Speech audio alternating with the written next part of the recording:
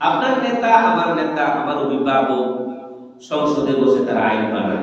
বানায় কিনা? সংসদে বসে তারা আইন বানায়। আল্লাহ বলতেছে আমার আইনে সমাজ চলবে। আল্লাহ লাহু আমরু। সৃষ্টি যার আইন চলবে তার। সৃষ্টি যার আইন চলবে তার। মূলত সৃষ্টি করেছেন কে? আইন চলবে কার? আল্লাহ। এখন দেখা গেছে তারা আইন বানাইতেছে আল্লাহর আইন বাদ দিল নিজের আইন বানাইতেছে। ব্রিটিশ আইনে চলবে অথবা নিজেরা নিজের মতো আইন বানাইতেছে। আল্লাহ বলতেছে আল্লাহর আইন চলবে। তারা বলতেছে, না আল্লাহটা বাদ আমারটা চলবে আল্লাহ বলতেছে, সুন্দরে হাত কাটো আল্লাহর আইন ওয়াসারিক ওয়াসারিকাত ফাকতাউ আইদিয়াহিমা জাযাআ বিমা কাসাবা। তাদের পাপের শাস্তি হিসেবে সুন্দরে হাত কাটো এটা আল্লাহ তাআলার কথা। আর তারা বলতেছে, সুন্দরে জেলে দাও। আল্লাহ বলতেছে, মদ পান করলে আশীর্বাদ লাগাও। আর তারা বলতেছে, মদের মদের বৈধতা দিয়ে দিচ্ছে।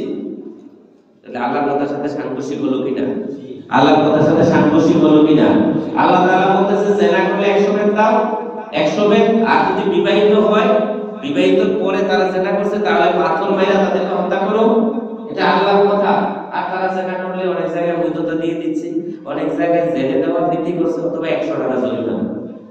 একটা আইন দেখছি, ওই আমাদের পুলিশ অফিসার বলছে যে কয়েছে খোলা ময়দানে যদি কোনো নারী পুরুষের অবৈধ সম্পর্কে জড়ায় তাহলে আমাদের নীতি হলো একশো টাকা জরিমানা তাহলে আল্লাহ বলতেছে কি একশো বেদ আল্লাহ বলতেছে একশো বেদ আর বিবাহিত হলে পাথর মারো।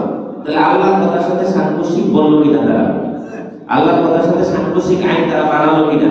এই সাংঘর্ষিক বানালো, আপনি এখন কারটা মানবেন?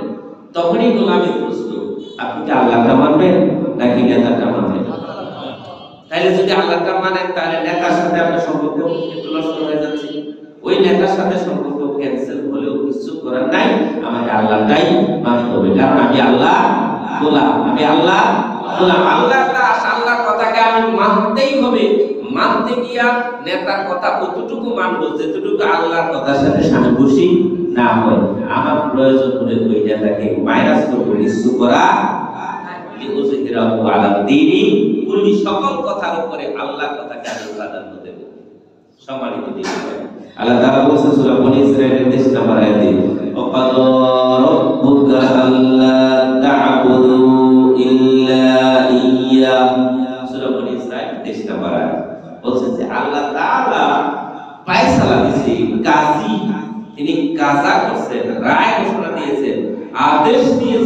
তোমরা আল্লাহর আদেশের বিপরীতে কোনো আদেশ পালন করতে পারবে না। আল্লাহর ইবাদতের বাহিরে কারও কথা ইবাদত গোলামি করার সুযোগ নেই।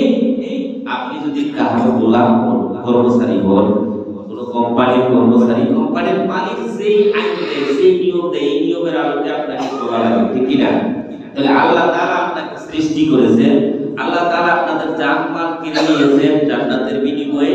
আপনি তো আল্লাহ দাস সুতরাং আল্লাহ তাআলার কথার আলোকেই চলা এটাই তো আপনার কাজ, ঠিক কি না আল্লাহর আইন মানাটাই তো কাজ। কারণ আপনি যদি আল্লাহর আইন না মানেন লোকের মানুষের বানানো আইন মানেন, তাহলে তার আপনি আল্লাহ গোলাম আর রইলেন না। আল্লাহ গোলাম রইলেন।